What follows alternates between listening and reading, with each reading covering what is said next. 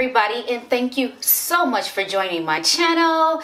My name is Rocky and we talk about fashion, lifestyle, a little bit of beauty, and my city of Chicago. So we're gonna get right into it. So today's video is a haul. It is from one of my favorite places and that's Urban Outfitters. I wanted to hurry up and show you what I got just so I can get into wearing them. Only challenge is that they did not have a fitting room, so let me get started. So first we're gonna start with um, the beauty part and we're gonna get that out of the way really quickly. So I was very surprised to find out that Ohii products were an additional 50% off at the Urban Outfitters surplus store that I went to today. And I shared with you guys that I was absolutely smitten with the Ohii natural deodorant that they have. So no um, aluminum and such in it I love the rose scent. So um, the normal price on this is $12 and I got them for $4 today. So this puts them at the price of basically a, um, a regular deodorant and it's 2.5 ounces. Um, again, I love this. So I got six of these um, rose ones and I grabbed two um, citrus tea ones. Mmm, just for a little bit of variety. Um, it smells really nice and I thought, why not? Four bucks, right? The other things I grabbed were some lip gloss from Ohii and I have no idea if these lip glosses go on sheer or opaque and I'm really hoping that they come on sheer because the colors on them are pretty deep. It's a lot of pigment you know, based on just looking at them. But these are, if they're sheer, these are shades that I feel like would go really well with my skin tone. But we're gonna have to We'll find out. Or maybe we just do, if it's not sheer, we just do a little bit and make it go a long way because these are some pretty deep colors. But I'm really excited to try these and that's all we have for beauty.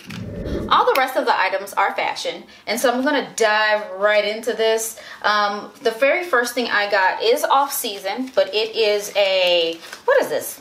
I don't even know what the, like a chenille, really thick chenille plaid skirt. It has two little leather buckles. This is this is giving me 90s vibes for sure. Um, I didn't even check to see if they had an extra small. I was just looking at this and I'm like, that this is this is small. Um, the small is pretty small. So I stuck with the size small, didn't go extra small, and I'm hoping that's okay. I do have 60 days to return anything that didn't fit since the fitting room was closed. So I will try this and we'll see if this works. The next thing I got is um, pretty summery dress in a way because it's, I mean, it does have sleeves. I've been trying to get things that do, do have sleeves on them. Um, the original price on this was $89 and I got it for uh, $9.99. I was loving, so these are two colors that I really don't have much of in my wardrobe, but this is purple and green. I don't even know what this scene is. It's like a cowboy riding through the desert with all these, so it's a green cactuses and, and a purple horse and um, cowboy. So I don't even really know what the scene is, but from a distance, it just looks fine. But if you look close, you're like, what is on this dress? But I love this, the baby doll dress thing, of course, and it has sleeves because I told you I always have like a little bit of a chill going. And it has a very, very deep V I am slim chested, so uh, deep V's are fine for me. It won't expose or flash anybody. I'm really excited to try this one and I love the price. This next one is probably not as orthodox as most people would pick up, but this is a, um, a sequence crop top. So basically taking the place of your normal average basic t-shirt, but just adding a little flair to it. I thought this would really be cool for any um, events that I go to in the summer because I feel like we're going to open back up this summer.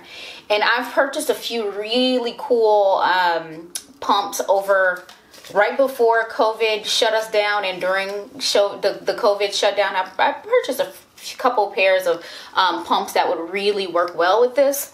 I'm seeing this in my head worn with a high-waisted pencil skirt and the pumps as well as the shiny pumps as well as with jeans and I see this with sneakers and all that stuff. I see this a few different ways in my head just by picking it up. Um, the, the versatility in my head that I saw made me think that this was worth paying the price. This was $19.99. The original price was $54. The next item has a tiny bit of a story. this is a, first of all, this is a nostalgic piece. This is a Mitchell and Ness t-shirt.